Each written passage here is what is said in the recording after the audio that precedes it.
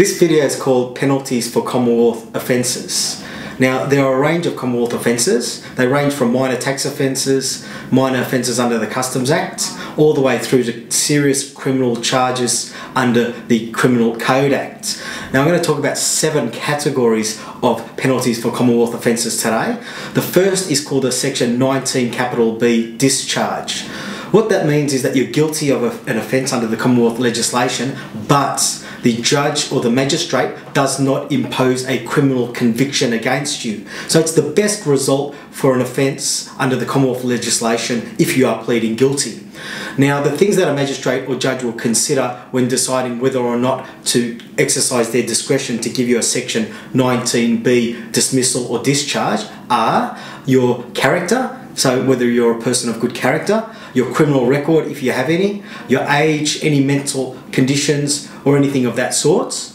That's the first uh, category of thing that they'll consider. The second is whether the offence is trivial in nature. So if it's a less serious offence, there's a greater likelihood that you will be dealt with under section 19 capital B and also any extenuating circumstances. So any reasons why you committed the offence. So not justifications but any substantial reasons why you were put in a position where the offence was committed. So extenuating circumstances. Now there are two parts to section 19 capital B. The first is a section 19B uh, dismissal. So a straight dismissal without any type of bond, and that's the best possible result. The second is a discharge upon entering what's called a recognizance. So it's like a good behaviour bond. So that means that you know you will be dealt with under section 19B without a conviction, but there will be a bond in place for six months, 12 months, two years, whatever the case may be. And you must be of good behaviour, of course, for the duration of the bonds. The best thing about section 19 capital B, of course, is that there is no criminal conviction. So if someone were to ask you whether you have any criminal convictions, then you could say no if the only uh, matter that you had was the one dealt with under section 19 capital B. That's the first category. The second category of penalty that I'd like to talk about are called fines. And that's really self-explanatory. It's a monetary amount that's been ordered against you which you have to pay. And a fine can be $500, $1,000, $5,000, whatever it might be. Normally you have 28 days within which to pay a fine. However, you can approach the court registry or office and ask for an extension of time to pay or to pay by instalments. Now, in assessing the amounts that a fine will be, the magistrate or judge will take into account the maximum fine applicable to the offence and also a person's financial circumstances. So if the maximum fine is quite low and your personal circumstances are bad in terms of your finances, then you're likely to get a lower fine. The third category of penalty I'd like to talk about are called recognizance release orders or RROs. They're similar to good behaviour bonds in the state legislation. Now, three types of RROs I want to talk about today are firstly, recognizance release orders under section 21A, and they're like straight good behaviour bonds.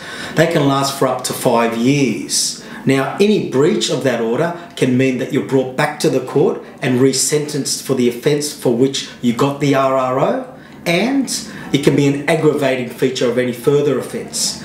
Now, these RROs, as I said, can last for up to five years, and also the magistrate or judge can order that you pay restitution or reparations. So you pay money for the damage done by your criminal offence. The second category I'd like to talk about are called RROs under Section 21B and they're like the suspended sentences in the state legislation. What that means is that you're sentenced to a term of imprisonment, for example, a year, but you don't go to prison as long as you sign the recognizance release order. So you'll be let out of the court that very day. You won't serve any time in jail. But if you breach it, you'll be brought back to the court and there's a high likelihood that you will go to jail for your offence.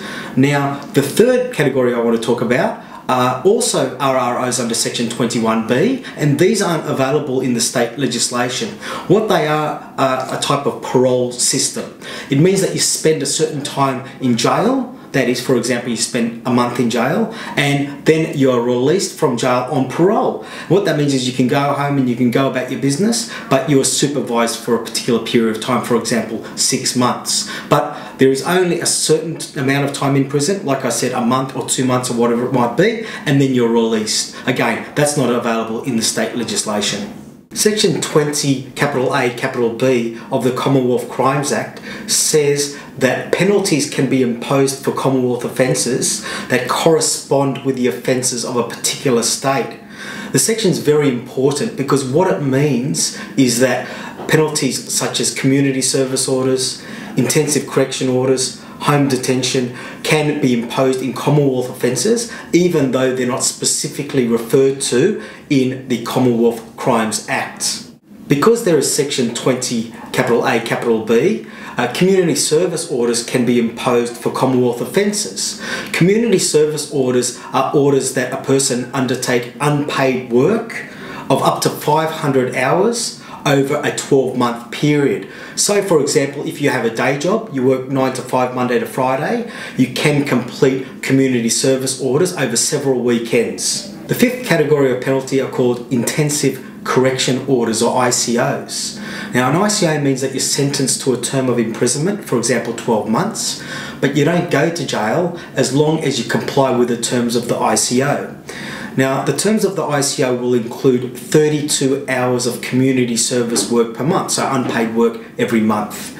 They will also include a range of other conditions. For example, you may be drug or alcohol tested, you may have to attend required rehabilitation programs during the term of your ICO. You may have to have face to face contact with an officer from the Department of Corrections on a fortnightly basis, a monthly basis, or whatever it might be. In some cases, you may have to wear an anklet, so something that monitors where you are and where you go for the duration of the ICO. But an ICO is an alternative to imprisonment, and of course, it's far better than getting full time prison custody. The sixth category of penalties is called home detention, and it essentially means that you have to stay at home for the duration of the order, subject to exceptions. So, what that means is there may be exceptions from having to stay at home, for example, going to medical appointments or even working pre approved periods of time, for example, maybe uh, midday to 5 pm or whatever it might be. So, they can last for up to 18 months, and of course, again, that is preferable to full time prison custody. The seventh category of penalty is full time prison custody. And of course, what that means is you go to jail and you stay in jail until your release date. Now, if you'd like to know which penalty you're most likely to get for your criminal offence, then you can come in and see one of our experienced lawyers for a free first appointment. You can ring us 24 hours a day, 7 days a week on 9261 881.